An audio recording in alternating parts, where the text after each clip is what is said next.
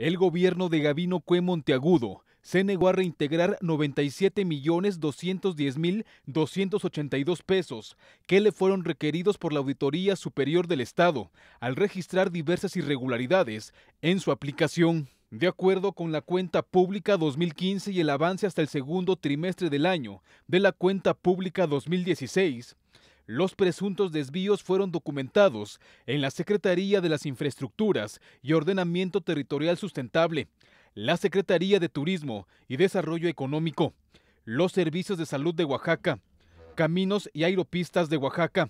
la Comisión Estatal de la Vivienda, la Comisión Estatal del Agua y el Instituto del Patrimonio Cultural del Estado de Oaxaca. En total, en 2015 fueron cuantificadas supuestas malversaciones por el orden de los 44 millones 438 mil 163 pesos con 30 centavos y en 2016 por 52 millones 772 mil 119 pesos con 46 centavos. Los malos manejos fueron atribuidos a duplicación de pagos, pagos excesivos, erogaciones sin la documentación comprobatoria respectiva,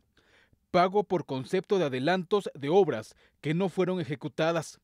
y el cobro incorrecto de penalizaciones, de acuerdo con la información proporcionada por la auditoría. En sus informes, entregados al Congreso del Estado para sus análisis, la auditoría refirió que ha entablado los procedimientos pertinentes para lograr la recuperación del recurso,